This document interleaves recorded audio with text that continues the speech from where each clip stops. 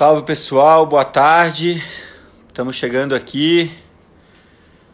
Deixa eu já trazer aqui o nosso amigo Lenine. Boa tarde, boa tarde. Vamos chegando aí. Todo mundo vem chegando, venham se aproximando aí. Olá, aí, chegou, chegou. Grande Lenine. Tudo bom, meu caro? Tudo na paz, meu oh, que bom, em casa, que bom. né? Confinado. É isso Estamos aí. Todos quarentenados, né? Eu tô falando, eu tô falando pro pessoal que está chegando aí antes de você entrar aqui, pro pessoal ir se aproximando aí, já vou agradecendo a participação de todo mundo aí. Por enquanto a gente faz desse jeitinho aqui, já que a gente não pode estar ao vivo, então desse jeito é o mais é, é, é o mais próximo que a gente está tendo contigo e com os nossos é, é, colegas aí.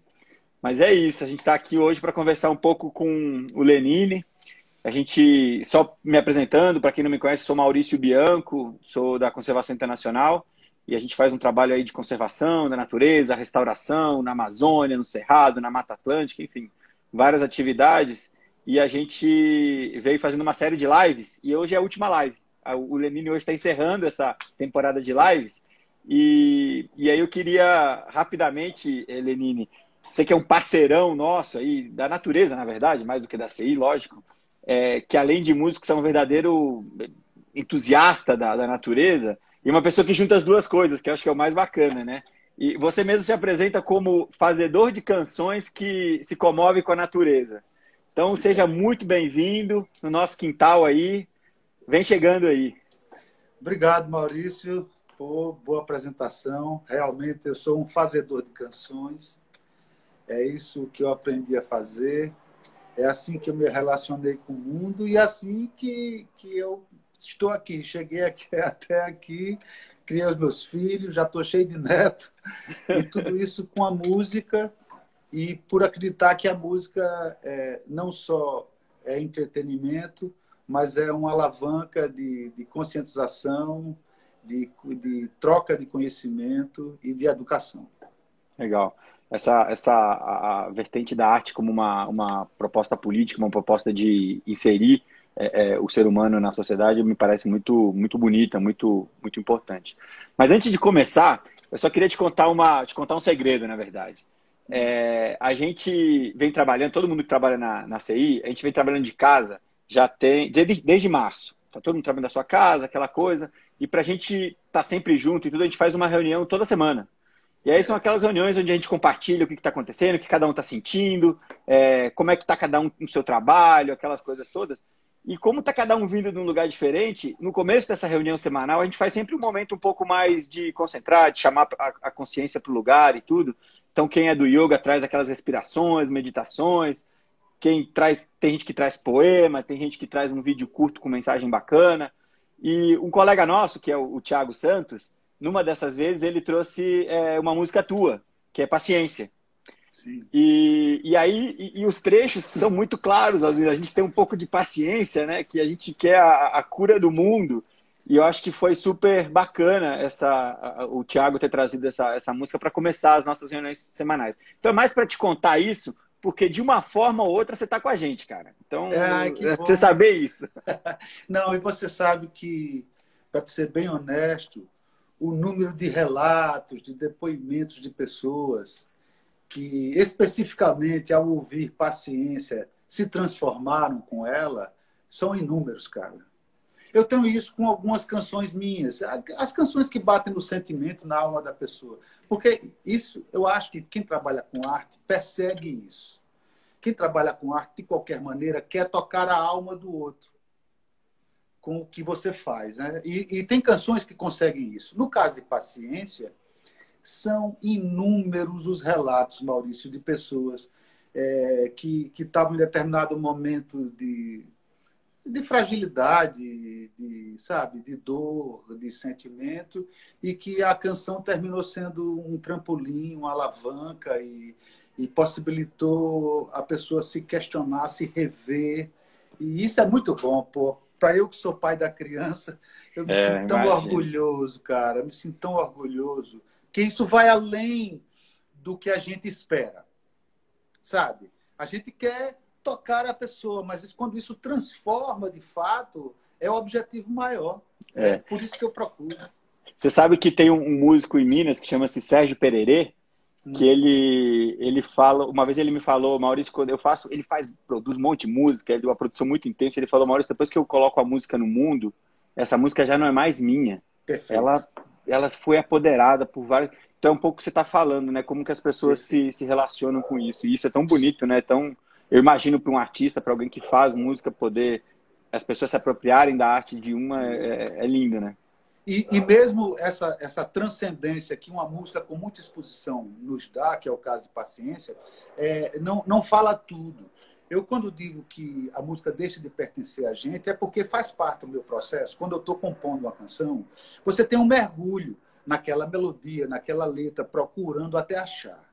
Esse processo é tão intenso que você, quando realiza a canção, é como se fosse um exorcismo.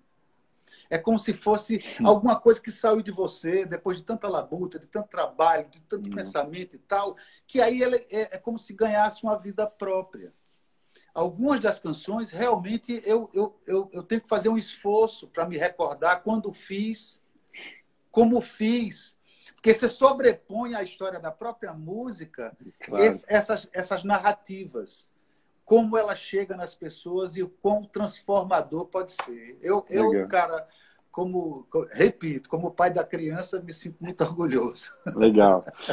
Ô, Lenine, conta pra gente um pouquinho como é que é essa tua, essa tua relação aí da, com a natureza, assim, porque a gente percebe você uma pessoa que tem um engajamento muito bacana, não só com a CI, mas com a SOS Mata Atlântica, o pessoal do Coral Vivo, enfim, você está sempre engajado é, é, é, em, tartaruga, baleia, mar é uma coisa que te chama muito. E, é. Mas é, é, me conta um pouquinho como é que essa, como é que começou essa paixão, essa, essa loucura boa aí pela natureza. Eu acho que começa desde o início, a partir da minha percepção que eu era um trovador contemporâneo da minha época. E como trovador, eu tinha que relatar o que, que, o que me comovia e o que me incomodava, digamos assim. Então, as matérias do que as matérias de minhas canções são justamente fruto desse, desse, desse sentimento que me causa o ao redor. Então, é um trabalho de reportagem, é um trabalho de crônica. Sempre teve presente, desde as minhas primeiras canções, a percepção de nós como ser humano, é, a visão do antropoceno, mesmo antes da gente falar nessa palavra, já ficava evidente para mim que pela primeira vez na história do planeta, uma raça estava superpovoando este planeta. Isso não mudou, ao contrário, só aumentou ao longo dos anos. Então é natural que quase seja uma vedete nas canções que eu faço o tema do meio ambiente. Está presente em tudo, cara. Em, em, todos os meus projetos tem, tem sempre é, é, é essa percepção e mais, e por entender que a, a música pode tornar menos invisíveis as questões que, que são ocultas. Quer dizer, a, atualmente, nessa, nessa grande pandemia que a gente está vivendo, e, além disso, o grande pandemônio que estamos vivendo, estão acontecendo coisas inacreditáveis para o tempo de hoje. Então, assim, o fato de estar acontecendo e a gente resolver como ser ser humano, continua então fica, ficando evidente essa matéria jamais se esgotará. É fundamental que a gente esteja é.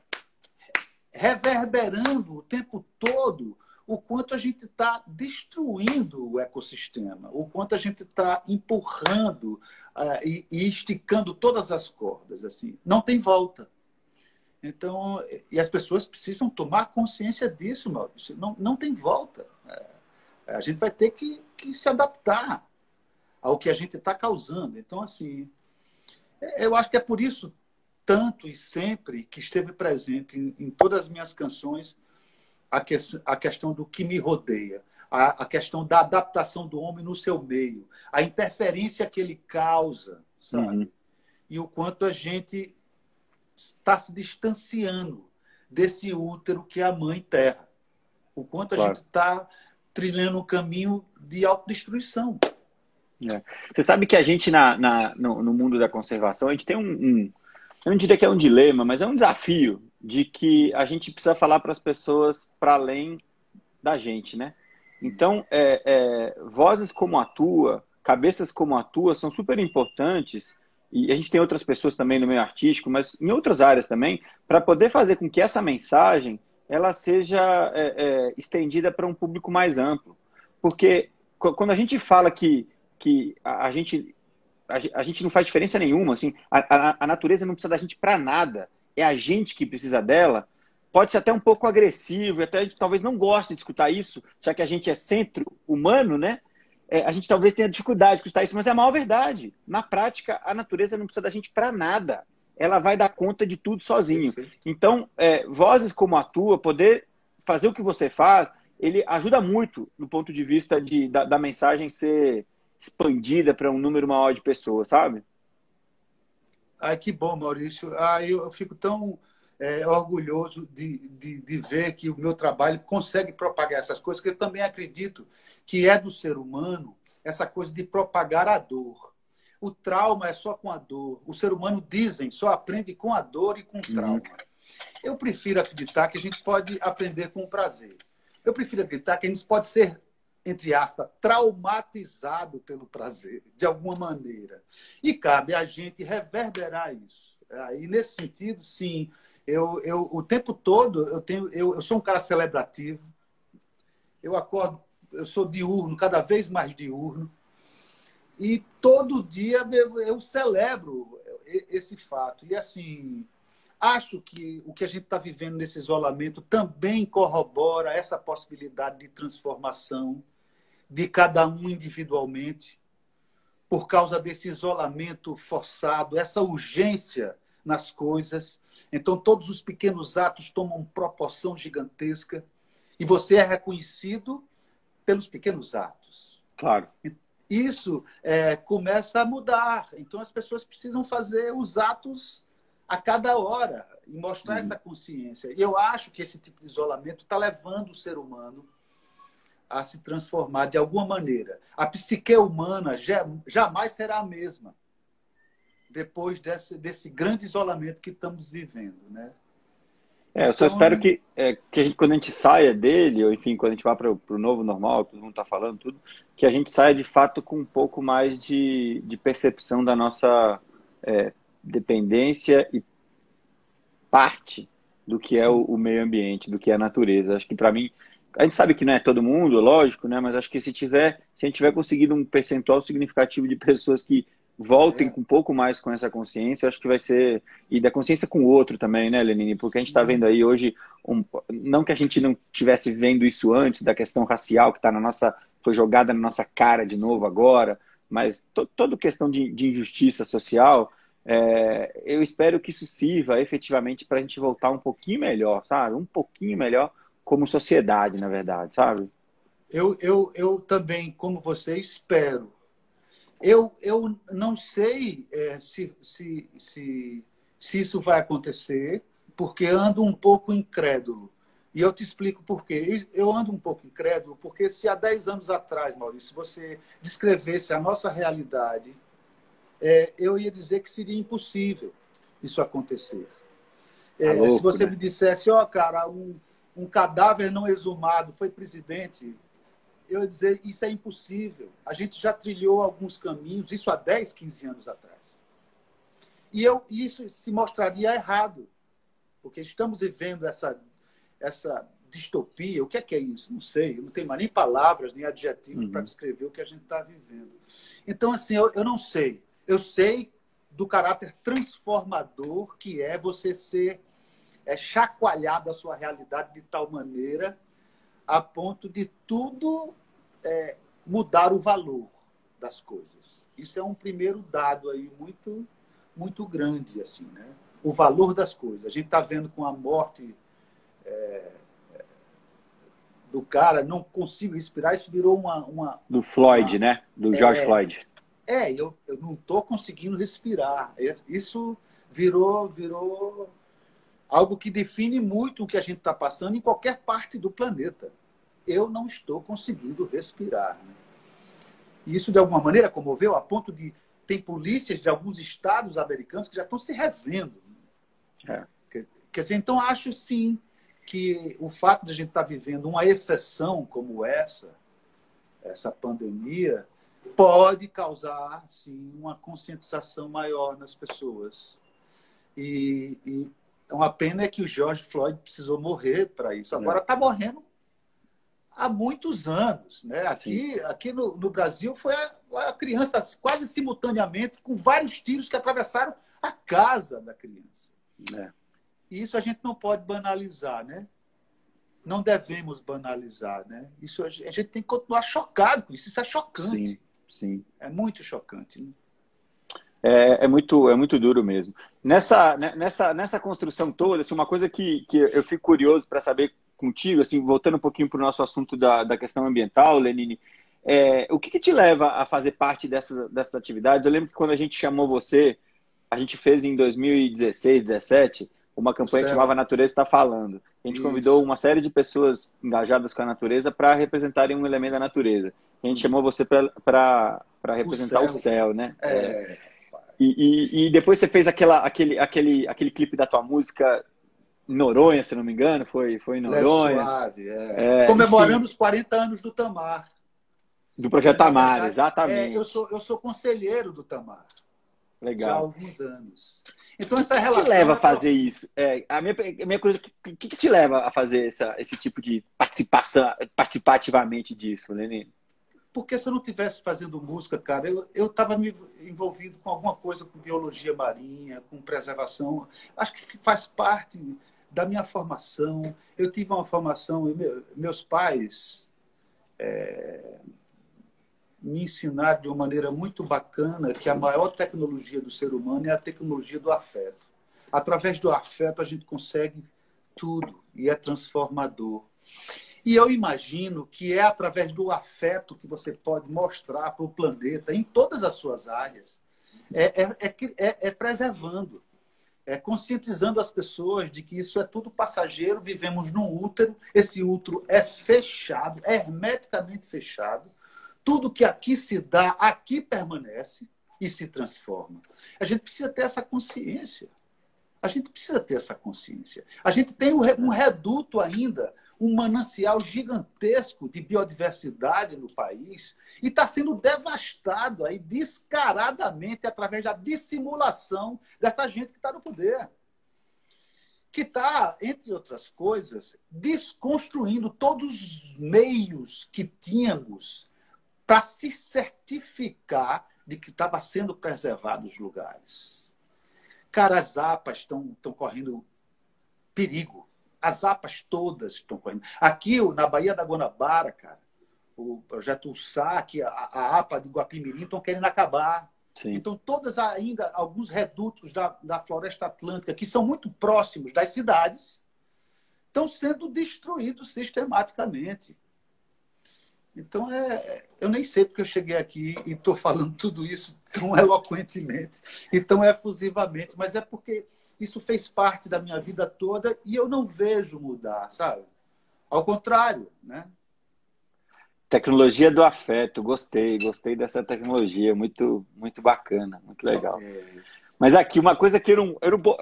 Orquídeas, cara. Orquídeas, assim, para quem te conhece um pouco, já sabe que você é o. Você fala que é um orquidólatra, né? Um é. tarado por orquídeas, sei lá. Você bota ali qual que é o, o, como é que explica isso daí? Você estudou botânica também, enfim. Maurício, Conta um pouquinho é... esse negócio da, da orquídea, cara. Você é plateia nova, por isso que quer saber. Quem está junto em mim não aguenta mais, cara. Eu só falo nisso, isso tem sido um... É porque é muito, é muito cativante, é muito sedutor. O universo das orquídeas é, é uma coisa maravilhosa, é muito diversa, é muito ampla, tem todo canto elas têm essa coisa de ser um gatilho sexual, né? porque ela usa os insetos é, é, para propagar-se, mas é um gatilho. O inseto acha que está copulando. Ela geralmente é, intui a forma da fêmea do inseto ou, ou simula o feronoma, o cheiro do inseto no cio. Olha que, que coisa maravilhosa. Cada flor é hermafrodita Ou seja, isso é um sinal de evolução maravilhoso, imagina. Então, assim, por isso tudo, a orquídea foi um fascínio o tempo todo. A cada descoberta, a cada espécie. Como ela tem esse endemismo é, é, muito diverso, e, e, a música é muito generosa, porque me levava. Agora não, na pandemia estamos todo mundo isolado. Uhum. Mas eu viajava bastante, Maurício. Era quinta-feira, eu estava viajando, só ia voltar na segunda-feira. E o que eu fiz? Eu passei a, a, fazer minhas turnês em função das plantas que eu queria ver, cara. então, eu dirigi a minha história todinha para ir ver os últimos bosques de altitude, que não foi só para ir ver as plantas. É, é, conseguir fazer uma rede de am amigos agrimensores, que toda vez quando vão, vão fazer um loteamento e tal, fotografam, e a gente vai lá antes de entrar o trator para ver se tem planta para recuperar. Então, isso virou uma, um grupo de adoradores dessas plantas e que o fato de estar viajando com música, isso facilitou muito a minha paixão eu, na época, quando viajava com caminhão, no meu caminhão já ia as cases com os tamanhos diferentes de vasos para eu botar as plantas Então a coisa era séria, Maurício, era bem séria e continua. É uma paixão que não ela não aquietou-se, ao contrário. Ela foi se ampliando o universo botânico. Na verdade, começou porque a grande parte das orquídeas é, elas ficam ali na copa das árvores. Talvez 70% delas sejam epífias. Então, elas estão ali em cima é. das árvores. E esse, e esse ecossistema, assim, foi, foi muito, muito especial para mim quando eu descobri, porque não tem só as orquídeas, as bromeliáceas, as uhum. cactáceas, tem um bocado de planta ali que divide o espaço atrás do sol na copa das árvores. E aí isso se ampliou de uma maneira muito grande. A botânica abriu-se um, um horizonte gigante para mim. Eu passei aí em todo que é sebo, atrás de descri descrição de planta, eu tenho. Aí tem uma biblioteca gigante. É, a paixão é grande, meu amigo. Imagina, imagina. Eu lembro que uma vez você me contou que você foi fazer, eu não vou lembrar o local, talvez você lembre, um, um, um lugar no interior, não sei se foi no interior de Pernambuco, que você foi só por conta de uma orquídea que só tinha lá, e ela ah. tem essa característica de ser endêmica em, em, em territórios menores, em, muitas vezes, né? É, é, conta pra gente uma, uma, uma situação que você foi para ver, que você fez um show para ver orquídea, na real mesmo. Que isso pra não, mim é incrível, vou, né? Vou contar poder... outra melhor. É, eu não vou contar o santo, mas vou contar o milagre. É, eu descobri que eu estava em, em Belém e descobri que em Macapá estavam abrindo uma rodovia, uma BR. Eu estava quinta-feira em Belém. E o, e o, meu parceiro querido que estava lá produzindo o show para mim, eu peguei ele e disse: Ó, oh, cara, eu preciso daqui a dois dias fazer um show em Macapá. eu quero sábado estar em Macapá. O cara, mas como? Não, arruma um lugar para eu fazer. Mas não tem, arruma. Não é possível que não tenha uma casa, rapaz, um, uma casa noturna. Uma... Isso tudo porque eu queria ficar uma, um, um dia e uma noite na ponta de lança onde estavam abrindo a, a, a, a picada para fazer a estrada. Porque nesse lugar os madeireiros estão esperando as, as árvores. Mas essa copa das árvores, ninguém se interessa por ela. Toda essa biodiversidade é jogada no chão e vira só estrume. E vira só material orgânico se decompondo. Uhum. Para você ter uma ideia, só dessa ida que eu fui, eu trouxe mais de 80 plantas em duas sacas de arroz que eu trouxe. E era tudo ia ficar no chão ali. Então, eu, isso tem sido é, muito também muito bacana, porque de alguma maneira eu estou preservando aquele material que tudo bem estava dentro do sistema que é, ia se decompor, claro, claro. ia virar adubo, mas eu peguei e disse, não, adubo ainda não, deixa eu usufruir um pouquinho dessas flores. Legal, então, você sabe é... que eu tenho, é, eu tenho um carinho muito grande pelas bromélias também. Quando, ah. quando eu fiquei sabendo o papel que tem ali, que tem todo um ecossistema ali, numa, numa única, eu falei, caramba, que coisa mais completa numa coisa tão pequenininha e o papel que isso tem, tudo. E a origem é muito similar, né, da, da, da orquídea, da, da, da bromélia. E, e onde é tem incrível, a bromélia, tem a orquídea. É. Porque a orquídea depende da evaporação dos copos d'água de cada bromélia. Que está ali, né? O, a tá umidade que está ali. Né? E é. não é só a orquídea que sabe disso. Todos os animais, a fauna toda sabe Vai disso. todo mundo beber ali, né? Vai todo mundo lá na bromélia, cara. Exatamente. Acho que isso me chamou, foi o que me chamou mais atenção, assim. Talvez o, a, a, o caráter provedor da bromélia, achei, acho muito bacana. Muito... E mais também, a bromélia tem essa coisa do metabolismo ser muito mais rápido, sabe? A, a, a orquídea é, é mais lenta. Sim, sim, sim. A orquídea, você fazer uma cimenteira para dar a primeira flor, são no mínimo sete anos, sete, oito anos. A bromélia não, rapidinho. É, o meu sogro também é, é colecionador de bromélias, assim, acho que não tão é, maluco como você, porque você tem milhares espalhados aí, mas enfim. É... Mas bacana, bacana. Agora, eu, eu queria te. Ah. Diz. Não, eu, eu, a gente está falando, de, deixa eu tocar uma canção para você. Para mim? Que é, isso? Todo véio. mundo aqui vai passar mal aqui. Que é isso, cara? Não, porque a gente está falando da conservação internacional, a gente está falando do quanto, para mim, é importante é, ter investido na minha vida como compositor esse viés de cronista, de repórter, a gente vivendo essa, essa no antropoceno, no antropoceno e sendo nós, os humanos, os seres humanos, responsáveis por essa destruição que se anuncia, Uhum. Eu vou tocar uma canção para você aqui. Se eu me lembrar a letra, se eu errar, eu errei. Você ouve? ouve. Demais.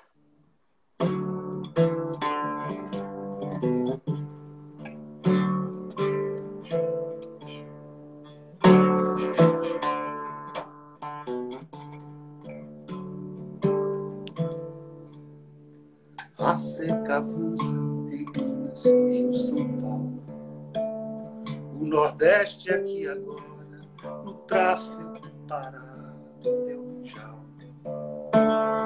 Vem, meu automóvel, mal se move, enquanto turbar, no chão rachado da represa, no chão, surgem carcaças de carro. Os rios voadores da ideia mal deságua por aqui.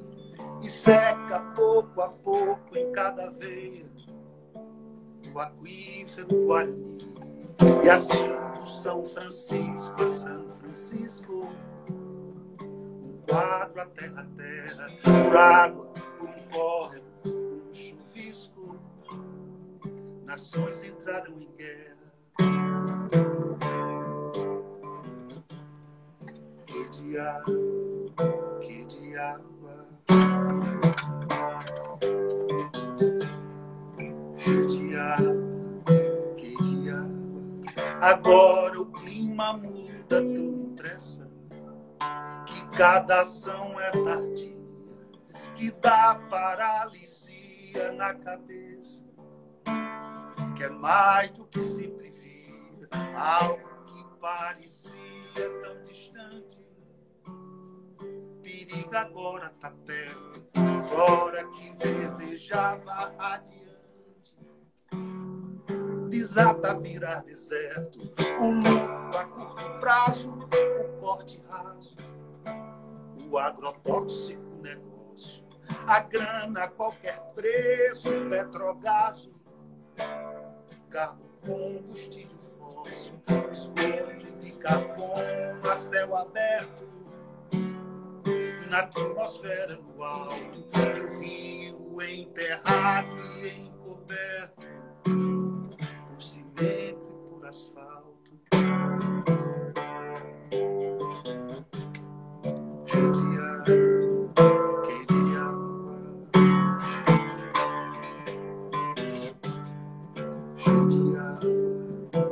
Dia, quando em razão de toda ação tanta desrazão. A selva não for salva e se tornar savana. E o mangue o lixão. Quando o Guarupantanal entrar em pane, a Mata Atlântica tão rara, o mar tomar toda a cidade litorânea. E o sertão virar Saara, e todo grande rio virar areia sem verão virá outono e água for commodity alheia. O seu ônus e seu tudo, a tragédia da seca, da escassez, cair sobre todos nós, mas sobretudo sobre os pobres outra vez, sem terra, teto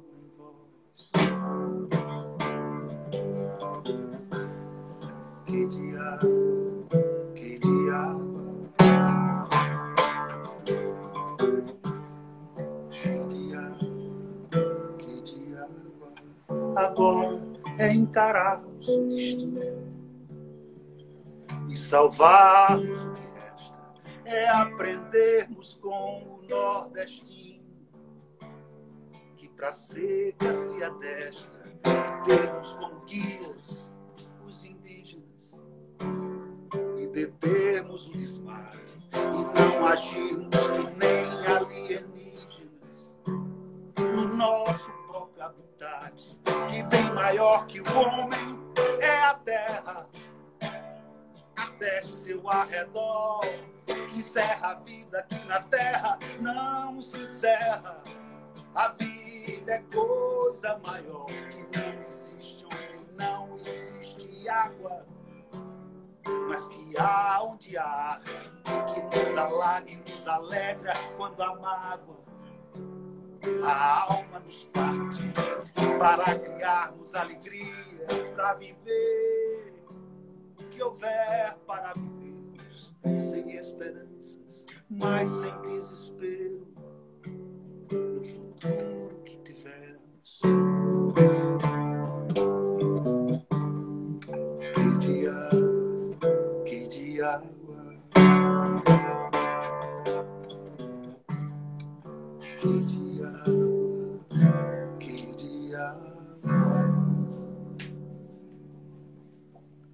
Que coisa linda, que coisa linda. Parceria com meu querido poeta e amigo Carlos Renó. Ô, Renó, putz, que lindo, cara, que lindo. Olha, e quando você ia cantando, eu ia pensando um monte de coisa que ele faz um recorrido no Brasil danado, né? Putz, é, é lindo, cara, Sim, lindo, cara. lindo, lindo.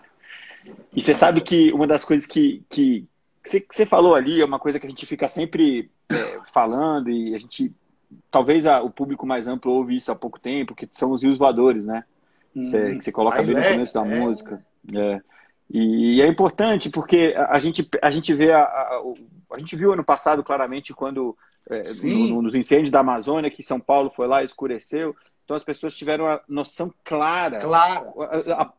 o próprio incêndio aconteceram na Austrália chegou na, na, no Uruguai, ou seja, no sul, no, no, sul da América do Sul chegou, entendeu? Ou seja, como que isso pode acontecer? E a gente vê claramente que é, a umidade que as árvores produzem, né, essas bombas d'água, essas verdadeiras sim, bombas d'água, e ali é uma bomba d'água gigante, né, tamanho maior floresta tropical do mundo que está na Amazônia, a gente vê que elas realmente são os que jogam umidade para cima e faz com que essa, essa umidade possa trazer é, é, é, é água, o regime de chuvas aqui para o sudeste, para o sul do Brasil, e inclusive regando o que a gente come. Que, ou seja, se, se o Brasil é, é, o número um, dois ou três em quase todas as commodities no mundo, se deve a, ao regime de, de, água, não só ao que está de baixo, mas ao que vem de cima também, é, é de água. Então, é, ela realmente faz tudo esse negócio funcionar, né? Então a Perfeito. nossa dependência da Amazônia é, é, é incrível. E né? é fundamental que todo o agronegócio tenha essa consciência.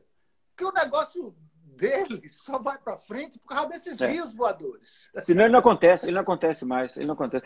Mas, mas você sabe que assim, é, é, é, é incrível, mas no Brasil, a maior parte do agronegócio tem ciência disso e faz uma coisa mais bem feita. A maior parte, mas tem os poucos que são os criminosos da história. E é isso que samba a parada, entendeu? Sim, Esse é o que, que joga o negócio para baixo. Rapaz, entendeu? agora tem um ano e pouco que voltaram vinte e tantos é, é, é, agrotóxicos, cara, que já estava sendo é. vetado, a gente já tinha passado por essa fase, aí retorna isso com maior descaramento, né? É, em outros sério. lugares do mundo não são aceitos, né? É, e aí a gente aceita aqui. É. Então, eu acho que tem muita coisa. Eu, eu imagino que na matéria dos, dos rios voadores, grande parte desse agronegócio já tem essa consciência. É. Mas, por outro lado, é, esse agronegócio agora liberou, é, e o governo está incentivando isso, a esses agrotóxicos. São, são mais de 300. Mais 300 à disposição aí, cara. Que é, isso? É, porque tem, tem o agronegócio e tem o ogronegócio, né? É. Mas então, o agro. Esse ogronegócio. É o agro é tóxico. A gente precisa lembrar. O agro é pop é. e o agro é tóxico. É.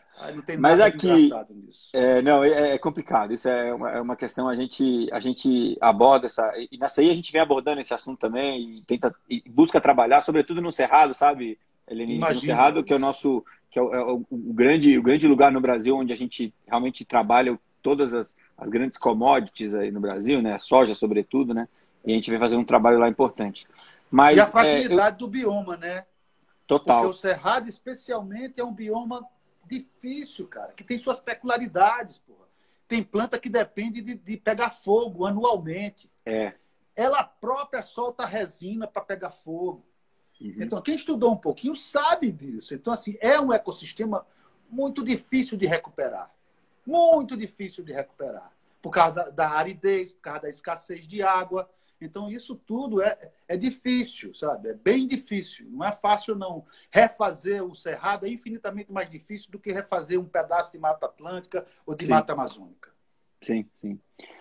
Mas aqui, é, a gente estava conversando outro dia e você estava me falando um pouco da, dos desafios aí dessa. Tudo, tudo que a gente está vivendo aqui em termos de, de, de, Estamos obrigados a estar em quarentena e toda essa questão. É. E depois, quando a gente voltar, o, o que for essa volta e quando for essa volta, como é que vai ficar a, a indústria aí, essa, essa, essa questão da, da, da, música, como que o, o, entretenimento, como que isso vai fluir. E você comentou comigo, pô, Maurício, eu estou procurando algumas coisas de tentar fazer alguma coisa para além do que eu já fazia, mudar, porque a gente está sendo exigido a mudar aqui. E, e, claro talvez é bem provável que você ainda não tenha soluções e tudo, mas assim, conta um pouco para a gente desse, desse teu, dessa tua forma de pensar. Como é que você está vendo esse, esse negócio todo pro, pro teu lado, lado da música e tudo, né? Sim. É, para um lado que de, de, um grupo de pessoas que não é só a música, mas tem outros grupos sociais assim que dependem da aglomeração para realizar uhum. o seu trabalho. Né? Eu estou nesse grupo, cara. Eu fui o primeiro a parar. E você é o último a voltar. A voltar, é. Isso eu não tenho dúvida. Nesse interim, como é que a gente faz? Como é que a gente vive? Como é que a gente.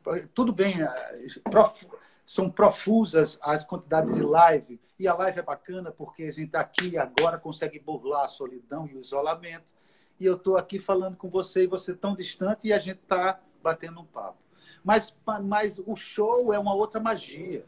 Show é, é, é você conseguir teletransportar a pessoa para um outro tempo e espaço. E isso não dá para fazer na, com, com tanta intimidade quanto você está dentro da sua casa. Sabe? Então, como burlar isso? Como fazer com que o som chegue melhor, capture melhor, com melhores microfones, como a gente consegue transformar essa intimidade em benefício para você criar, digamos, uma dinâmica de luz e som para conseguir, através da imagem passando pela rede, tocar a alma da pessoa.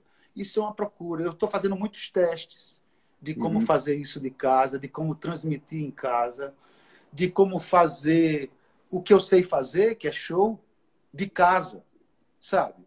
Mas eu não posso, e imagino que isso é uma questão que, que todo profissional deve ter, que você quer melhorar como, como, como, como produtor de alguma coisa, né?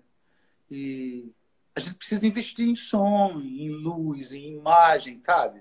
Claro. E como eu levo em consideração que a gente vai ser o último a voltar, a gente precisa ter algum tipo de, de meio para apresentar um produto como criadores que somos. Isso a gente não conseguiu ainda. Sabe, eu tenho visto muitas lives e tudo, ainda é uma coisa que você. Tudo bem, você se emociona pelo íntimo. Uhum. Porque estarmos todos é, é, sintonizados planetariamente através de, um, de, uma, de, uma, de uma grande comoção global. Né? E isso é, evidentemente, que isso é um, é um fator sentimental, emocional muito forte. Uhum. Mas o que eu falo é como eu posso propagar o meu produto agora. Se for através de uma live, vai ter que ser com um bom som, para que você em casa aumente seu som. Eita, que coisa bacana! Uhum. Que você consiga mergulhar nessa interpretação dessas canções a ponto de ter uma luz, de criar uma dinâmica e fazer as pessoas viajarem e, e saírem do tempo do espaço, né? e exercitar a beleza, que é isso que eu quero. Legal, legal. E essa, e claro, a gente já falou um pouco disso, a gente está vivendo um momento de muita introspecção, né, de, de repensar o nosso papel e tudo mais. E isso é, é, é insumo, é material para alguma coisa a ser produzida, Lenine? Não tenha dúvida. A gente é meio que esponja, Maurício. Você também, cara. A gente, a gente fica atento é, e, e vai retendo isso. De alguma maneira, eu transformo toda essa informação que está em volta de mim em matéria, em, em, em, em, som, em música, em canção, em poesia, e achar que com isso eu estou fazendo a minha parte na propagação da ideia que a gente precisa, como ser humano, ter o objetivo de melhorar de ter um sonho coletivo que seja melhor para todo mundo. É. Se isso é ser comunista, porra, eu sou comunista. É. Então, nesse sentido, eu penso na comunidade. Eu quero o que é comum, quero. Eu quero que todo mundo melhore, sim. Então, não basta pensar que depois da pandemia a gente vai voltar, sobe no ônibus e o motorista é o mesmo. Uh -uh. Então, assim, tem muita coisa para a gente esmiuçar. A gente já pode saber quem é quem. E já pode dizer, através dos pequenos gestos, quem é. Então, eu não vou mais no Madeiro, por exemplo. Você entendeu? Então, assim, a gente precisa exercitar nos pequenos gestos o que a gente é. É. Você sabe que quando a gente conversou, a gente tá, estava falando um pouco sobre isso, sobre se as pessoas acham que é, quando a gente voltar o novo normal vai ser igual a antes ou aquela ânsia, aquela vontade enorme de voltar exatamente para o que era antes, se as pessoas não se ligarem que não vai ser isso, a gente não sabe o que vai ser, mas que é, é fato que não vai ser isso, é. vai ser um choque, vai ser uma frustração muito grande. E, e, de certa forma eu já vinha pensando sobre isso, mas depois que a gente conversou sobre isso, isso daí ficou mais, mais forte para mim, sabe? E, e, e para quem já estava pensando, de alguma forma estava se preparando. Mas tem gente que eu sei, Lenine, que estão ávidos, estão loucos para voltar ao que era antes. Porque é alguma coisa, um porto seguro, que é aquela coisa que você já conhece. E, e, e aí eu fico pensando, putz, a gente vai ter um problema tão grande no depois, porque essas pessoas, se, se continuar essa forma de pensar, vai ser um trauma muito grande para essa pessoa, porque na hora que ela vai chegar, ela não vai chegar no mesmo lugar, vai estar em outro ah. lugar. Por mais que ela ache que é o mesmo lugar, entendeu? Pô, Maurício, eu sei. Sei que nada será como antes amanhã.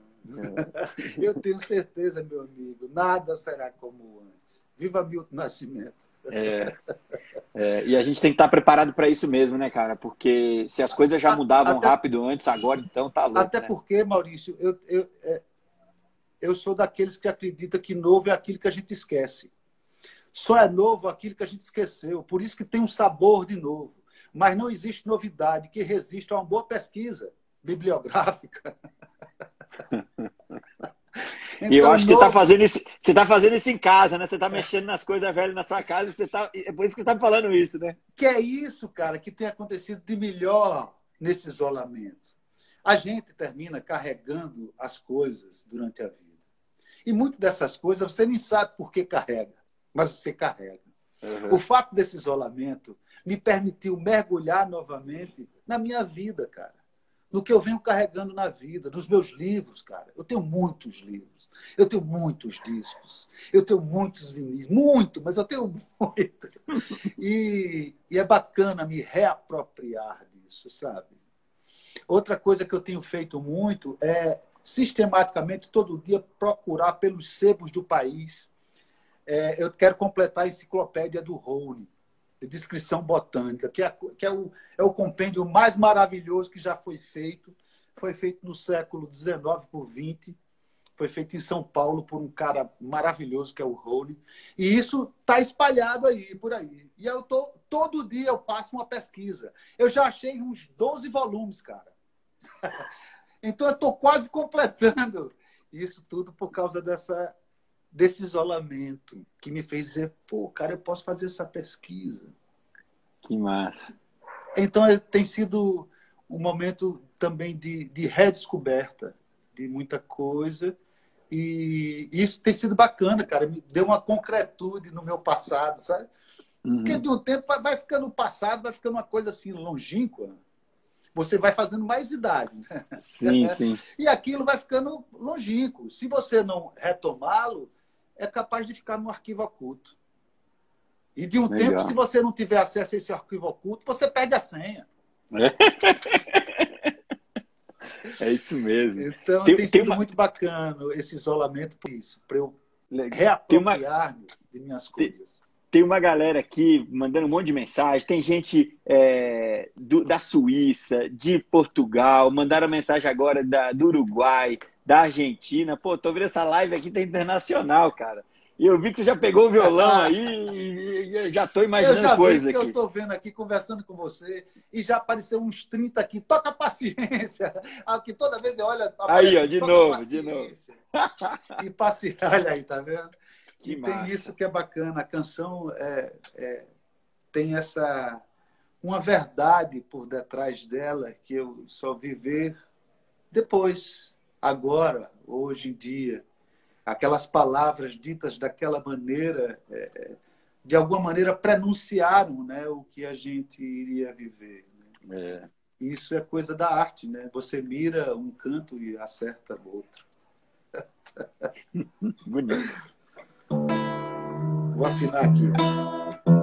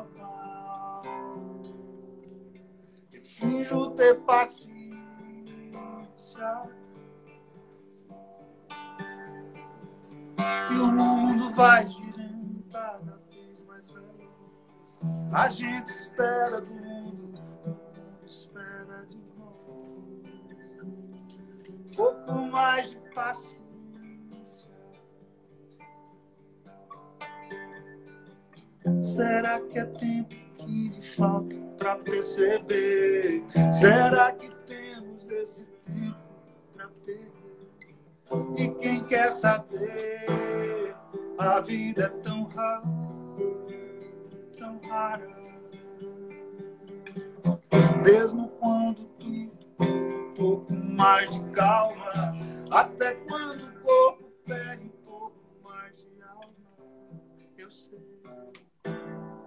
a vida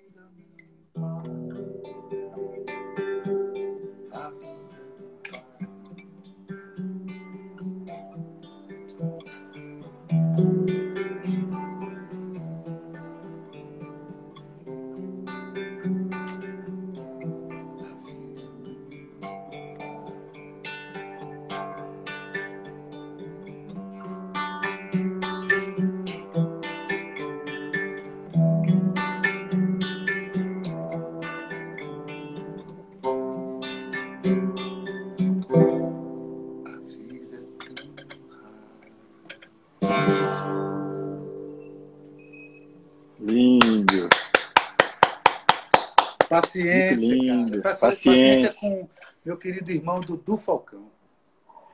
Paciência, exatamente. Muito lindo, muito bonito. Muito bom de escutar, cara. Eu acho que, como, como eu já falei para você, acaba que essas, essas músicas acabam sendo bálsamos pra gente, né, cara? Assim, nesse é, momento cara. todo. Eu acho que, como você mesmo falou, né, cara, as músicas tocam muitas pessoas, tudo. Eu acho que nesse, nesse momento que a gente está agora, acho que, para mim, pelo menos, me deixa, me toca mais ainda, assim, né? Acho que é importante. Sim. E, e, todas essa, essas canções mais que são mais sentimentais, a gente fica muito à flor da pele, né? Nesse momento está todo muito, todo mundo muito suscetível, né, a perceber uhum. a dor do outro, né? Então, o paciência tem muito essa, esse questionamento que está por detrás da canção, de, de, olhar para o outro, né? E de celebrar a vida, mas, mas de ter assim, cara, atenção, as paradas estratégicas, né? Que a gente que é fundamental a gente dar para dizer, peraí, o que é que eu é estou fazendo? Por que é que eu estou fazendo, né? Para quem que eu estou fazendo, né? Eu acho isso isso é um norte que é fundamental para o ser humano de maneira geral. Né? Legal, legal. A gente está chegando aqui no final da nossa live, Lenine. Teve, teve uma pergunta que chegou aqui para a gente, que eu peguei ela passando uma hora aqui, porque aqui passa é. que nem um, um avião essas perguntas aqui.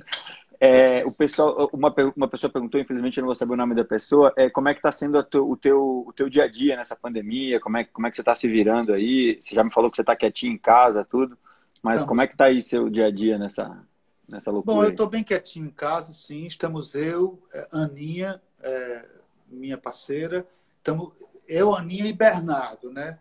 Que é o mais novo dos meus filhos. É, é difícil, né? Muito difícil. Talvez assim, para mim, para Ana, a gente sofre com a ausência dos filhos, mas para Bernardo talvez seja pior, porque ele, o filho novo dele está distante no Maracanã, então tem um sofrimento assim dessa ausência que é, que é muito difícil, né? O, o Bruno está na casa dele com a Sofia também, tal. O João, que é o mais velho, teve o coronavírus, uhum. quarentenado com a família ficou isolado também, passou por isso tudo. E estamos aí, cara. Estamos é, é, é, querendo manter a sanidade, que eu acho o mais importante, é a gente se é. manter é, são, né, lúcido. E, e, e, bom, acreditar que isso vai passar, isso sim vai passar. Não vai ter um retorno a uma normalidade, porque nada vai ser normal. Mas isso vai passar, esse tipo de isolamento, quanto mais. A gente vai ter que se adaptar a ter um asseio, porque isso, ó, isso é desde sempre. Eu me lembro quando estava fazendo o curso de engenharia química, meus 17, 18 anos de idade, já se falava das, dos degelo e a possibilidade de no degelo aparecer novamente um vírus que estava ali congelado, de outra era. Então a gente vive isso, a humanidade vive isso há muitos anos, né? a iminência de uma. De... E isso tem a ver com a superpopulação. Isso Sim, tem a ver com o antropoceno. Claro. Isso tem a ver que a é. gente chegou a um ponto que a gente está mudando com todos os, os, os, os, pontos de equilíbrio desse planeta. A gente está fazendo isso. E é, é. importante é. que a gente pare de fazer. Né? É. Mas força na peruca aí, cara. Assim, muita tá fé aí. O importante é a gente segurar a onda aí com positividade. Sim. Acho que para todos nós. E, e eu falo para você, e isso daí volta para mim também, porque todos é. nós precisamos dessa, dessa, dessas mensagens aí positivas para encarar isso. É. Eu queria, antes de, de, de, encerrar aqui, Leninha, só queria fazer um, um, jabá rápido aqui, eu tenho feito nas, nas, em todas as lives, que a gente está com uma, uma campanha junto com uma outra organização que chama-se Brasil Foundation, para uhum. arrecadar recursos que vão ser direcionados para é, comunidades da floresta, povos indígenas, ribeirinhos, quilombolas, na Amazônia, que estão sendo uhum. impactados aí pela, pela Covid. Então, a gente está fazendo. O, o, papel da CEI é muito de trazer é, projetos estruturais, mas nesse caso a gente achou muito importante, porque senão a gente não vai ter estrutura para o que fazer, então ah, vamos boa. salvar agora, né? Então, a gente está fazendo esse trabalho junto com a Brasil Foundation para as pessoas que quiserem doar, para a gente poder reverter e aí é coisa de, sabe, de alimento, é, cesta básica, né? É, limpeza, produto de higiene, coisas bem básicas mesmo que vão ser levadas para esse que a gente chama de guardiões da floresta, né? E aí o pessoal que tiver interesse aí é só Brasil Foundation com Z, que é brasilfoundation.org barra Amazônia. Então quem puder ir lá e, e, e, fazer a sua doação, a gente agradece muito. A gente vai passar tudo diretamente aí para indígenas, quilombolas e ribeirinhos da Amazônia. Boa, gente. Você que está aí do outro lado assistindo, o que é que está fazendo aí que ainda não contribuiu? É, é, fundamental esse momento de solidariedade. Olha, eu, eu queria dizer que foi um prazer maravilhoso conversar contigo, Maurício. É, Valeu. Mandar um, um beijo para minha querida Pri, que está por aí, está escondida. Pri, beijo, vice. A toda a rapaziada que com você tem essa luta árdua é, pelo bem da conservação. Eu sou solidário, sou cúmplice. Você conta comigo sempre, meu irmão. Eu sei. Queria te agradecer imensamente por você ter topado fazer essa live com a gente. O som não é dos melhores, eu sei que você preza muito por isso, mas eu te agradeço demais. Você vai eu acabar posso... com a música, é isso? Vou, vou. Oh, maravilha. Canção, né? Que eu acho que é, maravilha. Que é bacana. Um Uma beijão canção... para você, obrigado, viu? Um beijo. Depois eu, eu, já, eu vou me embora, eu vou cantar e vou embora. Beijo. Beleza.